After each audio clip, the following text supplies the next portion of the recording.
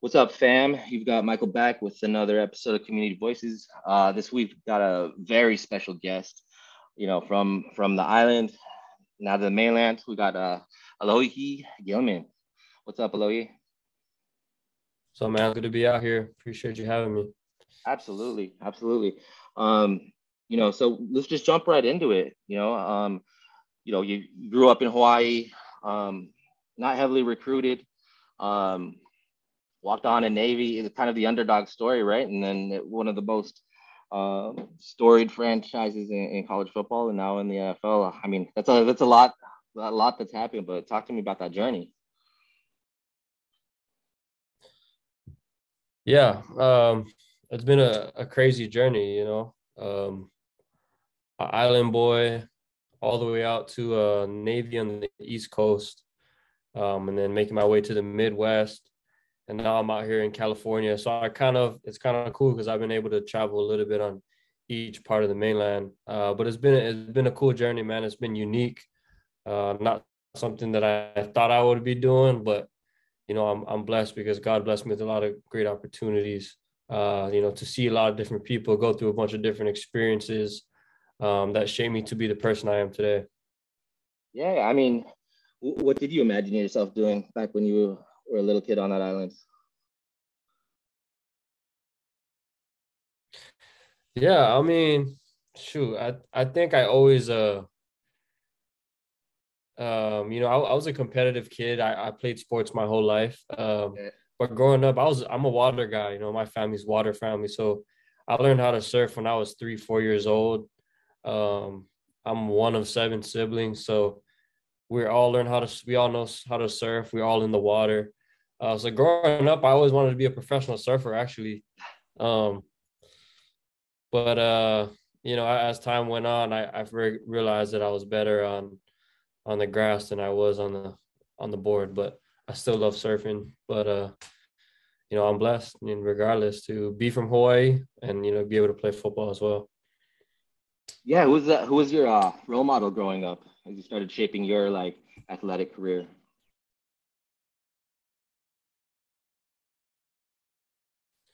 Yeah, so um I'd say my father, my dad, uh he's been a big role model for me. He's been a guy who's been very supportive. Um he uh he played college football as well at Southern Utah, a small D1 school. Um he uh been a guy and part of my life who's just continued to push me, uh create different opportunities for me. Um you know he he started a nonprofit organization called Education First in in Hawaii, and uh, it's something that continued to carry on to this day. He's done a bunch of football camps um, for 15 years that he did for a while. So uh, he was just a guy that I always followed, uh, a guy with a lot of who's a humble worker, sacrificed a lot, and uh, taught me everything I know. You know, being able to to get to this opportunity, you know, comes with a lot of great support. And uh, you know, my dad taught me so much, and so I wouldn't be out be here without him.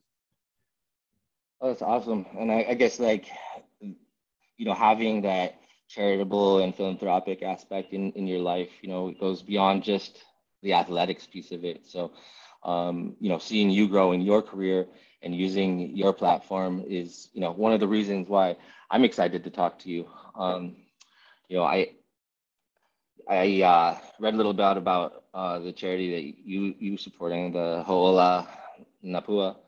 Um, how did you get involved with that? Ho'ola Yeah, so um, obviously, uh, in the NFL, they give us you know multiple opportunities to you know interact, to support foundations and charities. Um, and for me, it was my first year in the league I was uh I don't know if you can hear me still. Yeah. Yeah. My first year in the league, um, you know, I was trying to figure out opportunities, man. There's a lot of there's so much great opportunities to support. Um, but this specific uh charity is actually based um not too far from where I live in, in the in the North Shore of Oahu and uh, it, was, it was about sex trafficking, more so trying to create opportunities and integrating programs for victims of sex trafficking. Um, so I, I, dove deep into that um, and kind of figured out uh, what a problem it was, not just in in the islands, but you know, in the world. And uh, it's, it's been something I've been passionate about. You know, I'm like I said, I have one of seven siblings. I have three younger brothers um, and a younger sister. Um, and you know, I would never want you know these opportunities or this that lifestyle experiences to be able to be passed on for generations. I'm a family man. Um, you know, I'm Hawaiian at heart, Hawaiian blood. You know what I mean? And so protecting our family, protecting our land, protecting our people is important to me. So that was uh, just something that I gravitated to, um, that charity. So from there, I kind of, you know, got into it more and learned more about what they do in their program and uh, try my best, you know, just to to learn and educate myself first before trying to, you know, step into that field. But you know, I still have a lot of work to do, and would love to continue to support them. Yeah, absolutely.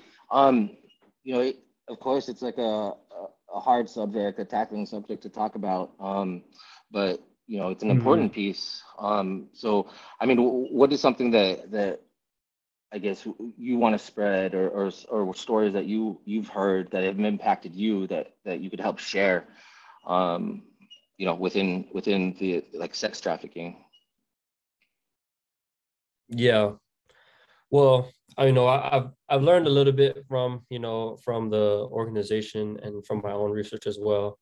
And what I've learned is a lot of the things that happen within sex trafficking is not so much um, a lot of people, the notion is that it comes from outside of the communities, when in reality, it's our own communities that's happening to us. So um, they, uh, unfortunately, there aren't the best people out there in the world, and within our communities, it's happening more and more. So it's it's people that you actually know more than you think, and that was really alarming for me because you know, like you know, coming from Hawaii, you know, we are all, you know, have this culture of aloha and love and, mm. uh, you know, taking care of each other.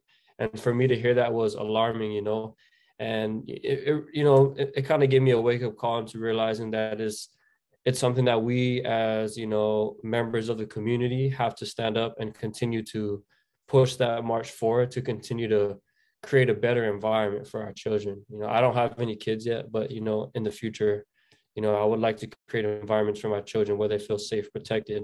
And if they are you know in those situations they know how to act and react to it. So um, that's kind of my whole deal and kind of the experience that i learned that was really like eye-opening for me.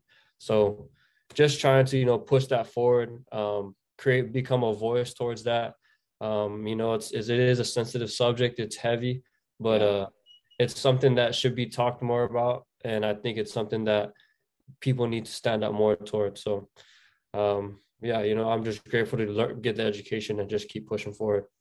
Yeah, absolutely, and I think that's a that's a great platform. And um, you know, as, as someone that comes uh, has heritage on the island, uh, very proud of you. Um, and I'm I'm happy that you're using this platform to be able to have these difficult conversations. Um, you know, it's a it's a tight knit community on the island, but spreading that word out is uh, as best you can is is is, is admirable, right? Appreciate it. Um, yeah, I you know after hearing that and and um, kind of listening to your story, you know, uh, good luck on on the field the this upcoming season.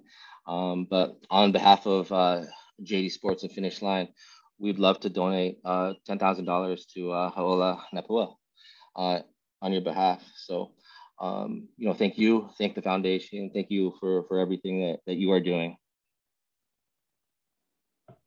Yeah, I appreciate it, man. That's uh, awesome. I'm blessed to be able to get this opportunity, um, you know, and continue to be a voice.